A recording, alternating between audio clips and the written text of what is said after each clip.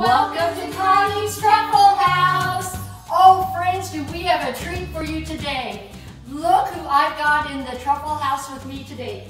Caroline Mebane, her mom Kelly Mebane, dear sweet friends of the Nelson family, a blessing to everyone who knows them, and do we have a treat for you.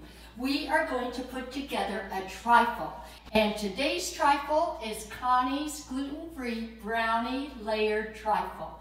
There are a number of steps, so we prepped some ahead of time. We made the brownies ahead of time, fudge sauce, but now we're going to show you a couple of the steps that are involved in the layering. Kelly is going to show you how to make the cream cheese filling, and Caroline is going to whip the cream. So Kelly, it's all yours. Okay, so I'm going to be adding some mascarpone, and you can also use cream cheese as a substitute if you don't want it to be so rich. So I'm going to start with the mascarpone, and then I'm going to add a little bit of sugar and Yummy. some cream. Great. That sounds good. Good. I'll just So I'm adding the paddle, and I'm learning how to use this machine, so this is fun for me because I've never used this You're before. doing great. awesome job. Ooh. Okay, lock, and wow. There we go. I just love that. It just works for you. Yeah. You don't even have to hold it. So we can probably add the cream and the sugar. Perfect.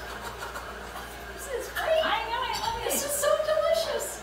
Mm, Y'all have got to try this trifle.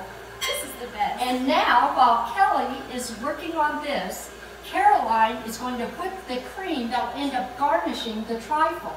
So Caroline, do you want to show everybody what you're going to do? Um, I'm gonna pour in the. I'm going to freeze a pretty heavy whipping cream. Yeah. Perfect job. Great. You're all good. And then just to make it a bit sweeter, I'm gonna add some vanilla Mm-hmm. and powdered sugar. Yes. Good job. Now, if you like your whipping cream not sweetened, you don't have to do this. I kind of like the heavy organic cream just sweetened a bit, and that's all you do. So Caroline's going to start whipping. Kelly's going to keep this going. We got some noise pollution, so now we're just going to have a little bit of fun.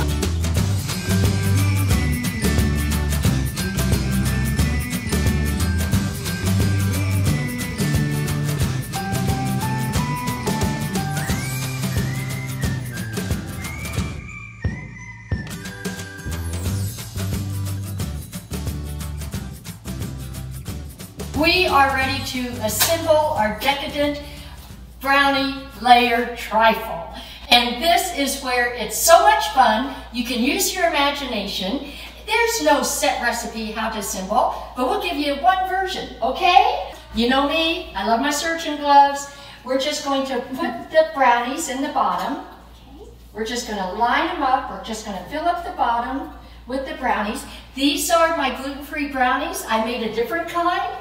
I made the standby that you have the recipe on the blog. And then I made Connie's gluten-free brownies and I added a cream cheese swirl. Yum. Very, very moist. So, here is the trifle dish and look, see how beautiful? Gotta get close and see. Now we can drizzle the fudge sauce. Check it out. We're just gonna drizzle like this. There we go.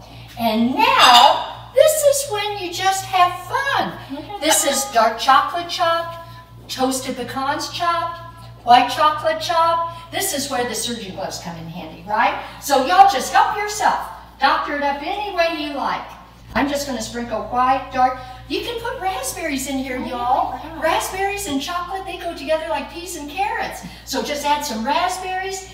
Now, that cream cheese mixture that Kelly made, we folded in the whipped cream. Now we mm-hmm. just take a spoonful. I'm gonna reach over, grab a spoonful, and just dollop it in and spread it around on top. And, oh, sorry Caroline, I got pushy. Okay, y'all just take a spoonful of the cream cheese, just like that. Alrighty, now we're ready to do some more brownies. So we'll put some more brownies on top, and then we will add some more fudge sauce like this, and you just keep layering. You just keep layering.